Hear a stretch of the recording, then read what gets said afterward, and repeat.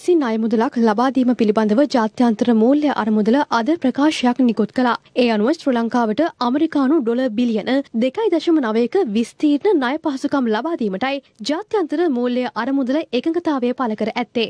විස්තීර්ණ ණය පහසුකම් යටතේ මාස හතලිස් අටක වැඩපිළිවෙලක් ලෙසයි මෙය ක්‍රියාත්මක වන්නේ. මීට අදාළ ගිවිසුම් වලට දෙපාර්ශවය ඉදිරියේදී අත්සන් තැබීමට නියමිතයි. ජාත්‍යන්තර මූල්‍ය අරමුදලේ නියෝජිතින් මෙරටට පැමිණියේ පසුගිය විසි හතර වනදායි. ඉන් අනතුරුව ජනාධිපතිවරයා මහ බැංකුව අධිපතිවරයා හා විපක්ෂ නායකවරයා ඇතුළු විවිධ පාර්ශව සමග ඔවුන් සාකච්ඡා කර තිබුණා. ශ්‍රී ලංකාව පිළිබඳ මෙහෙයුම් කමිටු ප්‍රධානී මසහිරෝ නොසකි හා ජේෂ්ඨ දූත මණ්ඩල ප්‍රධානී පීට බෘව ශ්‍රී ලංකාවට පැමිණි IMF කණ්ඩායමේ සාමාජිකින් අතරට අය.